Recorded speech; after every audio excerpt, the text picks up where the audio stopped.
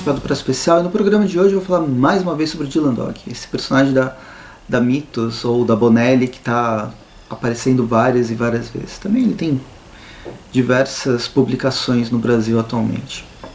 Mas enfim, eu quero falar sobre a edição número 7, Alguém Chama do Espaço, que tem os roteiros do Tiziano Sclave com desenhos do Bruno Brindit. E eu deixei um vídeo destinado a simplesmente uma edição, porque isso aqui ele representa mais ou menos que o fim de uma trilogia, a trilogia alienígena do Esclave com o Brindit. E ela foi toda publicada aqui no Brasil, nessas outras duas edições também da Mitos, mas daquele formatinho dos anos 2000.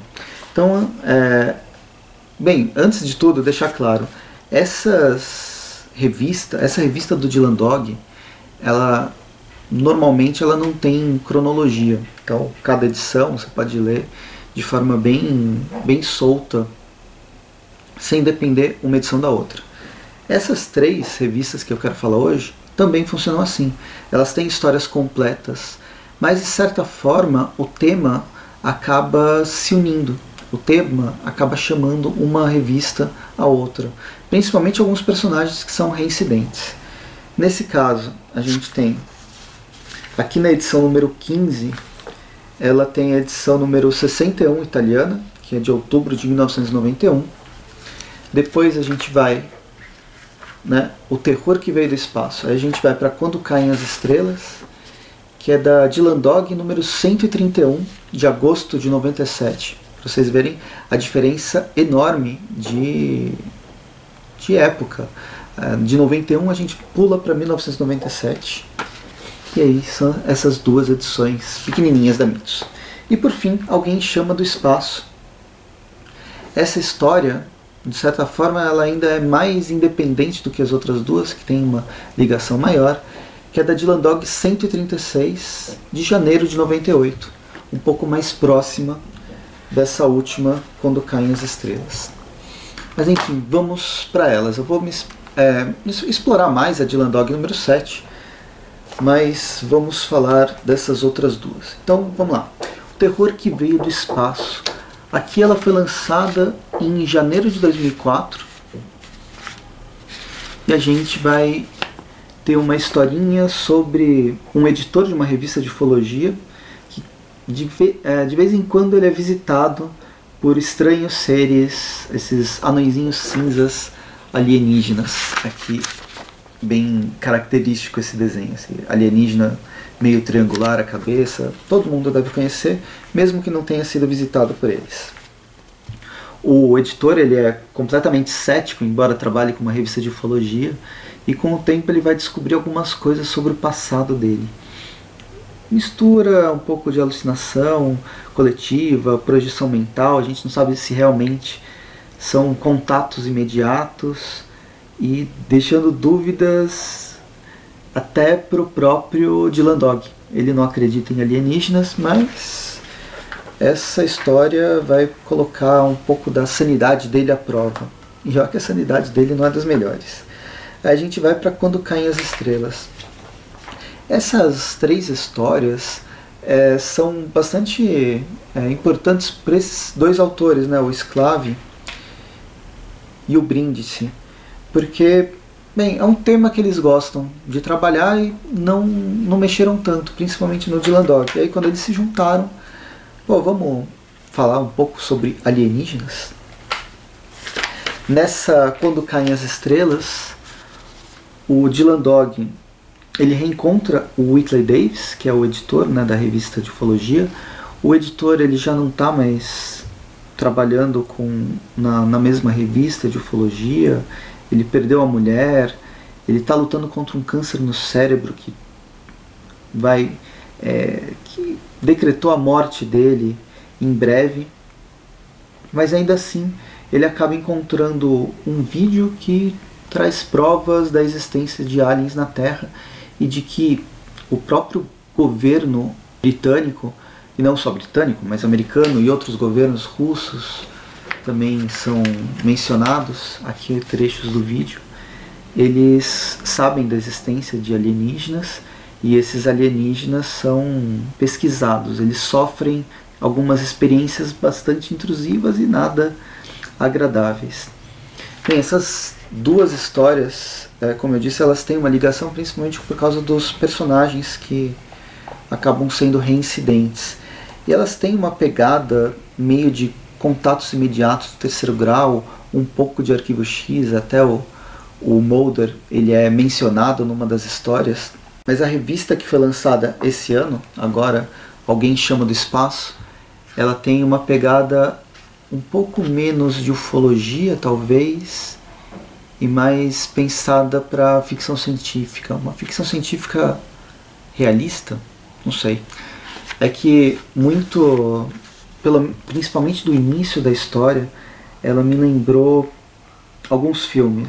Eu acho que o, o, a história bebe um pouco de, do filme Contato, tem um, tem um pouco também do livro Fim da Infância, e esse a história Fim da Infância, ela foi serviu como base para um, um, um livro de contos que foi lançado no final dos anos 80, início dos anos 90, mas que foi, uh, foi a inspiração para aquele filme que a Amy Adams participou, que fez bastante su sucesso, que é A Chegada, onde chegam alienígenas e eles são incompreensíveis e uma linguista que vai tentar conversar com eles. Então a gente tem muito desses, ou pelo menos um pouco de todos esses elementos. E esse Amy Adams, no caso, é esse personagem que é um, é um linguista, exímio linguista, conhece quase todas as línguas do mundo é, e sabe falar bem quase todas elas. E ele, fisicamente, psicologicamente, ele parece com Humberto Eco. É uma homenagem a Humberto Eco, amigo até do Esclave. E esse, esse personagem ele é chamado para tentar decifrar algumas mensagens que foram recebidas num daqueles laboratórios que já a maioria está tá, tá desativado pelo mundo, de tentar entender esses ruídos de fundo vindo da, da galáxia e tentar descobrir se alguns desses ruídos podem ser é, alienígenas falando com, com a gente. É uma história bem legal, essas primeiras 30 páginas vai rolar em torno desses desses mistérios, aqui tem o, o linguista completamente maluco sonhando com a Torre de Babel, que vai ser a base também do que seria uma linguagem mãe, tanto para a Terra quanto é uma busca desse personagem, na verdade, desse linguista, o que é, qual é a linguagem inicial do planeta Terra, se é que isso possa, possa ser decifrado mas ele é um semiologista, então semiólogos é, caminham um pouco nessa loucura de tentar atingir a linguagem primordial. E se ele, se ele tenta desvendar a linguagem primordial da Terra, por que não ser chamado por exército para tentar desvendar a linguagem primordial do espaço? E a gente parte para o Dylan Dog e para o Grosso, eles estão chegando numa cidade é, completamente bizarra no país de Gales, um povoado pequeno que não é nada simpático para quem vem trabalhar no local. Na verdade, tem uma briga de, de fronteiras e tal, isso não é nem levado tanto à frente. Mas é só um elemento para tornar as pessoas um tanto quanto excêntricas. O nome dessa cidade, que é. Eu não vou falar porque ela é praticamente é, impronunciável. Se vocês conseguirem ler, aqui está a placa. Ela está escrita numa língua, numa das dos dialetos falados na, no país de Gales. E essa, essas palavras, essas letras que formam o nome dessa cidade, é justamente o que o linguista consegue decifrar da mensagem. Então, será que os alienígenas estão vindo para essa cidade? Eles têm uma base nessa cidade ou qualquer coisa assim? Bem, o, o Dylan Dog ele vai, ele chega nessa cidade por causa de outro motivo. Uma mulher que chama ele por causa da, da filha dela que está desaparecida há seis meses. a filha dela tinha subido numa montanha é, que tem é a única é o único ponto mais alto que existe na cidade e ela desapareceu e aí está o mistério. A investigação do Dylan Dog, claro que vai esbarrar na investigação do, do linguista.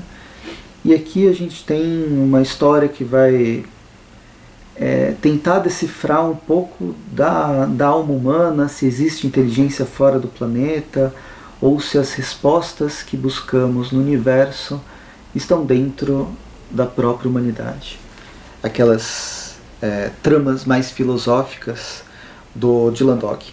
E é isso, gostei, achei bem interessante e eu fiquei feliz que eu tinha as outras duas histórias, embora como até nessa própria resenha deu para perceber elas não são necessárias para entender uh, alguém chama do espaço.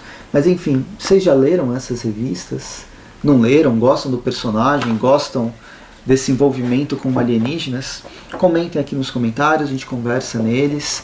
Curta o canal, assina o Chapéu do Presto também no Facebook, assim o arroba Presto Gaudio lá na, no Instagram, onde eu falo sobre mais sobre filmes, sobre séries que eu assisto. E é isso. Espero que tenham gostado e até mais e bons quadrinhos.